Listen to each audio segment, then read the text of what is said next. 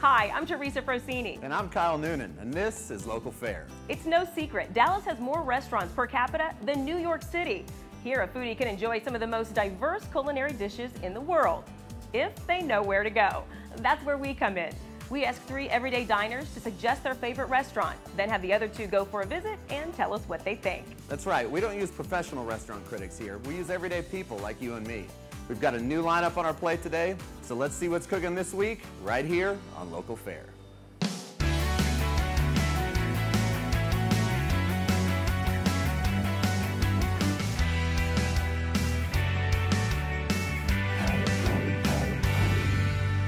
As always, we're here at Bowl and Barrel, which is an awesome place to grab a bite to eat while bowling a few frames, and it's an excellent place for our reviewers to talk about this week's restaurants. So here's Teresa with this week's guests. Okay, so this week we brought in three people from the DFW area who suggested their favorite restaurant for the others to go visit. Come back here and tell us what they think. Our guests this week are Rico DeLeon, an art director from Dallas who suggested Victor Tangos. Samantha Worrell, a financial crime lawyer from Flower Mound, who suggested 12 Stones Restaurant, and Lauryn Bodden, a writer from Dallas, who wanted the group to try Hattie's. Our first restaurant this week has a modern yet traditional atmosphere and fantastic food that's sure to keep you coming back for more.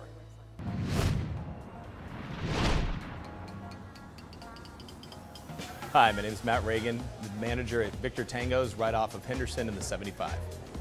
The restaurant's built for large parties, lots of celebration. Everything's shared plates. We have some small bar bites and then kind of a medium-sized shared plates that are meant for two, three, four people. And then we have these large family style items come out on big wooden boards. Victor Tangos was one of the first craft cocktail bars in Dallas in 2008 when we first opened up. The cocktail culture in this city has evolved in an amazing way. We are excited to still be pushing envelopes and trying new things, but we also have things that are very accessible. You walk in the door, and it's alive, it's vibrant, the walls pulsate, there's energy and life, but there's no pretension. Everybody's welcome. Anybody that wants to come in and eat, we want them here. It's warm and it's friendly and it's fun. We've got a little something for everybody. Okay, Rico, you talked about Victor Tangos. Mm -hmm. Let's talk about what makes this one of your favorite places. Well, I think, you know, they kind of have this, I guess, reputation for having these really good pre-prohibition style cocktails. And, nodding. Yes, for sure. I enjoy them. and so that's what initially brought me in. But you know, after a couple drinks, I was like, let's sit down and have some food. And you know, my server just kind of recommended some really phenomenal dishes that have me coming back and have me recommending the place to all my friends. Really? What are some um, of your favorite dishes? I always have to get the what they call the turkey Cobb, but it's like a imagine like a turkey, two drum like turkey legs, mm -hmm. and mm-hmm. then a Cobb salad on the side. But the, the turkey legs are just prepared. Is in it a way, like a turkey leg, like if you go to the fair? Like, cause I'm, I'm into those turkey legs. I like to walk around with it. Well, yeah? I mean, the turkey legs are, are great. They're two turkey legs that aren't like super lathered in like barbecue sauce. Yeah. What are some of your favorite drinks when you go there? Well, I mean, they have several that are just really good, like that are on the cocktail menu. Mm -hmm. But it's like one of those things. If you had a long day and you're in the mood for something, you just be like, hey, I need bourbon in my life. Straight up. Now, Lauryn, you head was nodding. Tell me. Agreed. Agreed with everything. I agree with everything. So um, when you went and tried the food yeah. and, and, the drinks, what'd you like? Well, it's definitely a place I love to take my friends to go hang out. Um, like you said, I think it's a place that has a reputation for being about the drinks, and a lot of people don't realize that the food is just amazing. But they had these lamb lollipops that are just, and I'm huge on lamb, and I don't think that a lot like a lot of restaurants serve lamb and they right. do it so well and then really it's really good yeah and i have the pepper smash cocktail when i went um, their service is so good they're so friendly and you just i mean they'll tell you the best things to order they'll whip up whatever you want and it's it's nice. good it's awesome all right samantha how about for you what did you have it was my first experience there and um, i had the duck and the fig, flatbread. flatbread. Yes. Yeah, that was mm -hmm. gorgeous. The flavors and that delicious really good surprise. And um, I also went for the beef short ribs. And like you, I'm thinking, you know, slathered in barbecue sauce. I was, that was such a big surprise, and they were delicious. It was almost steak-like. Mm. They just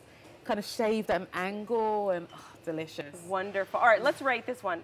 Scale of one to five. What? How would you rank this? Five being the highest. I would give it four and a half. I think I'm going to go more four, and that's just because I'm impatient and being told to wait for an hour and 15. Okay. Kind of was a bit off Wait was for a long- Yeah. And your favorite item that you had there? Um, the beef short ribs for sure. Yeah. Perfect. All right. Lauryn, how about you? Um, I want to give it a five just because I, I mean, I haven't had a bad experience All right. and it's it's great. Um, favorite dish, I would have to go with lamb lollipops. All right. Nice. Rico, obviously you love this. Yeah, obviously, I, I have to say a five. I love those guys. I like what they're doing. They're always innovating and you know changing things, keeping it fresh. Um, favorite dish has to be you know the, the, the turkey leg Cobb dish. It's just amazing. All Yeah. right, excellent. Thank you for recommending Uh-huh. it. When we come back, we'll visit a place with good, locally inspired food that's not fussy, but never boring. Upscale food with upscale service in a casual, laid-back environment and with a neighborhood feel. If you're looking for a truly unique entertainment experience, look no further than Bowl and Barrel, Dallas' only modern American restaurant and tavern complete with 15 state-of-the-art bowling lanes. Whether it's a casual date, a private party, or a corporate event, Bowl and Barrel is a great way to spend an afternoon or evening and the place everyone will be talking about the next day. Great food, great drinks, and great bowling. What are you waiting for? Let's roll! Bowl and Barrel, 8084 Park Lane, Dallas. Welcome back to Local Fare, where we take three regular DFW restaurant goers, we have them suggest their favorite restaurant, have the other two go for a visit, and then they all come back here and tell us what they think. Samantha Worrell says 12 Stones Restaurant has a varied menu where even standard items are given an innovative touch.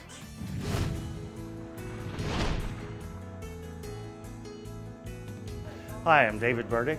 I'm the executive chef at 12 Stones Restaurant in Flower Mound, Texas. My wife and I have lived here in Flower Mound for 13 years. We wanted to create a restaurant that was the fabric of the neighborhood. We do a seasonal inspired menu, and it's basically our spin on new American cuisine. We have a seasonal bar menu as well, handcrafted cocktails. We do a lot of prohibition style cocktails that have some really nice clean liquors in them. We also have a lot of boutique wines that you won't find, small family-owned vineyards that we like to feature in our restaurant. We have a wine room. You can have up to 15 people. It's fantastic for either a business meeting or a special family occasion. I had a fantastic designer, Hatsumi Kuzu. The industrial farm motif is what we went for, with a little bit of modern twist to it. Great food in a relaxed environment. Okay, Samantha, tell me about 12 Stones. Um, well, I love it because it's a piece of the city and the suburbs. You know, we've got a lot of chain restaurants, and so when that opened up, um, I think in 2013, I was so excited. It's chef owned. It's, you know, the description of it, fresh food. You know, the chef thinks about every dish and you know putting a twist on it. I was so excited to hear that I don't always have to come into Dallas proper to get that kind of food. I always have the calamari. I just can't resist it. I mean, I love calamari anyway, but there's a I can't identify it, like five spice cinnamon taste to it, and the hmm. sauce has like a acidic tang to it, so it just really balances it, and it's just thin. It's so moreish. I mean, it's delicious.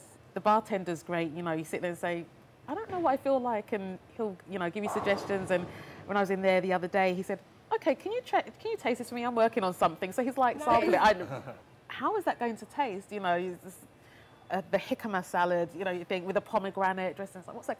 And it's like marmalade and you just don't know how it's going to taste. It's almost a, it's like a up class, uh, you know, a high class Willy Wonka's chocolate factory. Like, what taste am I going to get from this particular dish? You know, because Now, had you ever been there before? No, and I mean it's Flower Mound's a little bit of a drive, and it's funny because you you pull up and it's in a shopping center, and you're like, wow, I just drove this far, and it's I don't know what to expect, center, right. And like, but then you walk in and it's just the decor, the lighting, and everything. It's it's so cool, and uh, yeah, like their their menu offers so much. I got the fried avocado um, starter. It, it was awesome. That and I mean, great. I feel like I'm eating healthy because it's avocado. Sure. So yeah, went with that. and then it comes with this jalapeno ranch type dip, uh, dip. And then um, it was funny because we were kind of taking the bread and just dipping, and then and they try to take away. We're like, no, can we keep it?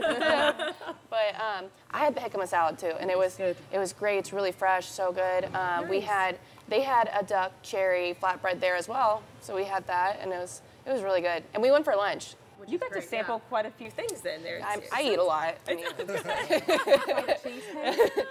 no, I, I didn't get dessert, Ooh. and I mean, uh, yeah. Maybe we'll have to go back. Rico, how about Next you? Time. Did you try dessert? I didn't have dessert. Well, I had some cocktails, so I, I think that okay. counts. that counts, yes. Uh, the Scott's Old Fashioned is a really just solid, solid old fashioned. I was I didn't know what to expect, and I saw the, the old fashioned. I mean, it's like you know what? That's a standard. Let's see how it's done. Done very well. Um, Excellent. Um, I also had the crab cakes. Mm. I'm a sucker for crab cakes. Yeah. So they're they're twist on it with a little bit of avocado and uh, I think it was cilantro or basil. I definitely recommend that if you guys are heading out that way. It's so good. How, what would you rate this one on a scale from one to five? I would like for me because I'm not in Flower Mound. Like that's yeah. too suburbia for me. You have to cross but, 635. Yeah, that's you know outside the bubble. But you know, it, if I was in the area, that would be a go-to. I, I, would definitely at least give it like four to four and a half. Yeah, okay. totally. And your favorite thing that you had there? The crab cakes. Got it. Really All right, Lauryn, how about for you? I, I mean, same. I feel like just because I'm not right in Flower Mountain, it's a bit of a drive. Yeah. I would probably give it a four. Um, I mean, it's a great restaurant, and I feel like I have to go for dinner and try the steak. I want to get the calamari, um, but the the fried avocados were Favorite. so good. Yeah. All right, one to five. How would you rate this one? I'm going to give it a five. I love it. And yeah. obviously, calamari is your favorite. Yeah, it's a twist on everything. It's fantastic. It. Thank so, you yeah. so much. Thank you. Thank you. When we come back, we'll take a trip to the Low Country for some traditional recipes with a fresh, modern twist. The cooking and the hospitality that we all grew up with with our parents and our grandparents.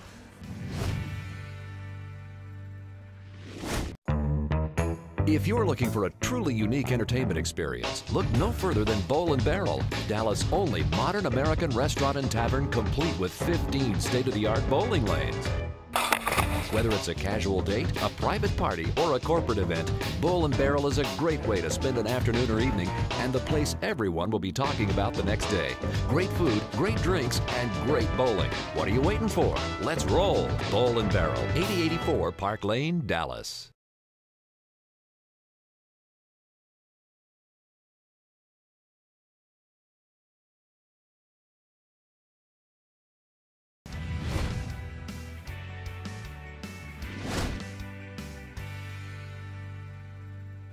Welcome back. Our last restaurant sticks to what they know. Food, comfort, hospitality, and grits.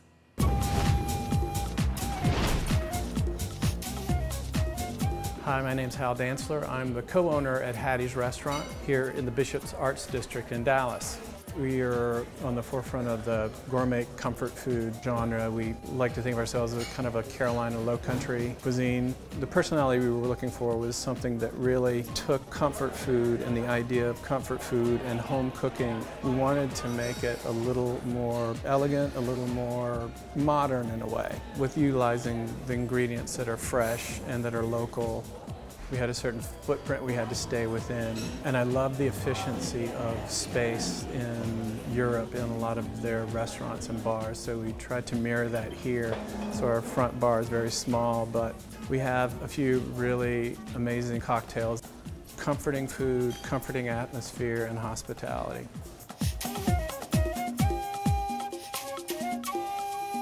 Okay, Lauryn, tell me about Hattie's. Um, I mean, I love Hattie's. It's been around forever. It's in the Bishop Art District, which is just a great area. Great area. Um, they do American Southern comfort food, but they do it so well. And I mean, it's really you just feel really classy eating there. It's so chic inside. So I mean, I like that. I'm gonna chow down, but I'm gonna feel classy while I'm doing it. I so, love it. what's but, your favorite? What do you like to get there? Um, they have amazing pork chops. It's done so well. Um, you do like yeah. meat. I like that. yeah, but no, I mean they have pork chops, fried green tomatoes, fried mm. chicken. I mean, it's hard to go wrong on the menu. It's so good, and they're so attentive there. It's yeah, I love, love, it. it. Mm -hmm. You love it, Samantha. How, tell me about when you tried Hattie's. Um, Had you been before? No, I've okay. never been. I've never been, and it's um, it's got a very homely feel to it. It feels very southern, you know. So I really like that element. It's funny to hear you say southern. yeah, I feel like, you know, I guess it's Scarlett O'Hara's house. But um, it's so funny that it was the, way, the waiter describing specials. He just had the. I wanted to eat everything. He kind of lean in and say, tonight we have an Alaskan halibut and you know it's, it's seared zucchini. I, I was like, I want that. No, I want that. It was fantastic. Ah, what did you end up getting? Um, I, I went for the shrimp and grits just because when I mm, asked about it, I was being told that that was like Yes. the main staple. So it was good, it was good. But I do wish I'd gotten the special, the Alaskan halibut that we are You serving do. tonight. Yeah, it was so, it was really flavorful. So, you know, so somebody mm. else on the table got it. So, you know, I got Did you get to try some of it then? Yeah, yeah, Oh, yeah, good. Okay, good. A little bit of the catfish and mm. not so great. Okay. Yeah, yeah. A little bland for me. But, you know, the, the halibut dish was good. Sounds like you like the atmosphere a lot. Yeah, yeah, I did. I did. And dessert was good too. What did you have for dessert? I, I had a sample of everything, so I tried a bit of strawberry shortcake, the banana caramel bread pudding, and the um, molten chocolate cake as well. So, yeah, yum. it's that kind of homely, you know, if you go home, you know, to your Place to parents, your take my parents. grandparents. I take my parents Yeah, there. I it's like if it, you want a home cooked meal and that kind of feeling. So, Nice. not so much wow, but definitely a home kind of com- comfort Sure. food for sure. Rico, how about for you? What do you think? Well, I mean, you guys bring up that it's like a great place to bring your parents. I bring a party when I go there. I love the food. Rico, you bring a party everywhere, I think. I, I, you know, I'm not a, I'm okay with that. Um, That's good. but yeah. she had the sample of the desserts. I had the sample of the brunch cocktails, which are awesome. Nice. So did you you did brunch then? Yeah, I, had, I went through a brunch party there. Nice. Big slew of friends went, but we did. I had the mimosa, which is solid. Their their house made um, Bloody Mary. The house made like, I guess. it good? Yeah. Oh, yeah. It's really Yes. good. Okay. So good. It's worth. Not always you- Bloody Marys are not always good. Yeah, they're not all created equal. I'm just saying that way. And they do have a good wine selection there as well. I was really impressed, and they really knew their wines as well and what to recommend. I was very impressed by that. Did you eat at brunch? Yeah, I did. I did. I did just drink. I'm just checking. I, I ate some food. It was good. Um, I've had the shrimp and grits there on times, and uh, you brought the pork chops. That's also good. I, um, I think as another staple, like the shrimp and grits, is the chicken fried steak. Like, it's just solid, good home cooking style, but with a touch of elegance and class. Like you walk in, Nice. you walk in white tablecloths. You know, it feels like okay, I should be wearing like a bow tie or something when I walk in. But it's actually really nice, and it just makes you feel like at home. How would you rate this one on a scale from one to five? I have to say, a five. It's And your just- favorite dish or drink? dish, probably the shrimp and grits. All right. No doubt. Let's have you rate this scale of one to five. Um, it was very filling, that was for sure. I still, I'm going to give it a four and a half. Okay. All right. And your favorite thing that you had? The special halibut. Halibut was yeah, your favorite. All right. Obviously, you recommended this Yeah, one. um, I mean, I'm generous. I love it. I'll give it a five. Uh, favorite dish is so hard just because it's all so good. Probably the pork chop. Pork chop. I love my meat. Enough said. Thank you so much, Lauryn. All right, you want to learn how you can make one of these delicious meals we've discussed today? Well, when we come back, our restaurant expert Kyle Noonan will show you how to do just that. Stay with us. If you're looking for a truly unique entertainment experience, look no further than Bowl and Barrel, Dallas' only modern American restaurant and tavern complete with 15 state-of-the-art bowling lanes. Whether it's a casual date, a private party, or a corporate event, Bowl and Barrel is a great way to spend an afternoon or evening and the place everyone will be talking about the next day. Great food, great drinks, and great bowling. What are you waiting for? Let's roll. Bowl and Barrel, 8084 Park Lane, Dallas. All right, gang, welcome back. We're coming from the landmark on Lover's Kitchen, as always, this beautiful kitchen that I love cooking it. And one of the highlights of this episode was our jicama salad. And jicama is not something that most people are familiar with, so I'm going to educate you guys. This is a jicama. Now, when you go to buy them in the store, you're going to see that these that jicama can get pretty big, almost cantaloupe size. I would recommend staying away from the big jicama because it kind of starts to lose flavor after a while. The sugars start to go away. And the way this tastes is it's it's really um, almost like an apple and a potato having a baby. That's kind of what we're working with here, and it's a little funky on the outside, but it's really sweet on the inside. Um, here it is pre-cut, and it's mm, it's good. So all we're going to do is just peel it. Use a regular vegetable peeler to take the skin off. You don't need to wash it. Um, and just go ahead and peel, peel the skin off. Be careful not to nick your finger, because that happens to me almost all the time, uh, unfortunately. But it's worth it by the time you get to this sweet fruit in the middle. It's really nice. Now, jicama is typically from, used in Latin America uh, and Mexican cuisine. So that's typically where you're going to see it grown in Mexico, Central America. Um, but you start seeing it here more and more in the States, and you can buy it at any grocery store.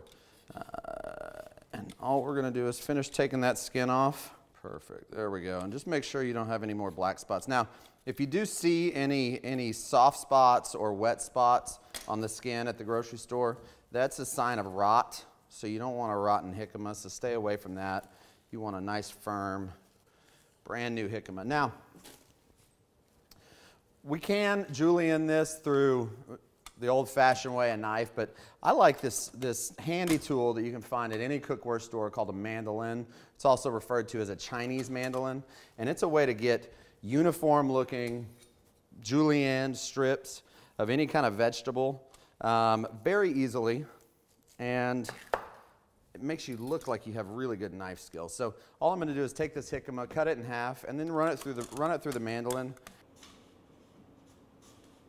Okay, there we go. We just, all we're gonna do is take this. Now what I've also done is I've taken some red bell peppers, some yellow bell peppers, some cilantro and red onion, and I've done the same thing. I've just run it through the mandolin to get a nice, even sticks. The, the, the, the idea here really is that you get even pieces when you mix this salad. So all we're gonna do is take those ingredients, throw it in a bowl, get a couple of spoons, so we can mix. And then for the dressing, it's very simple. take honey, just a little local honey. I love local honey to add a little bit more sweetness. Pinch of salt.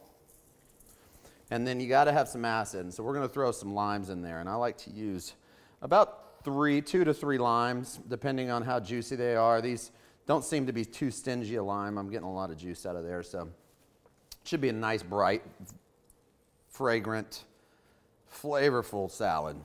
That's it. So now we're going to just toss this up. Just get those all integrated, all the ingredients coated in the honey, the lime, the salt. Just make sure that that stays together. And this really, this dish is great on just as a starter. It's also a great side item if you, you know, grill a steak out in the summertime, backyard barbecue. Then just put this on the side of the steak. It's just a great, fresh, vibrant salad. And then the last thing, when you go back to plate, and you can just throw it back on the same plate because you're not using any raw ingredients, you know, instead of just dumping, you want to kind of build that salad, make it look nice and neat.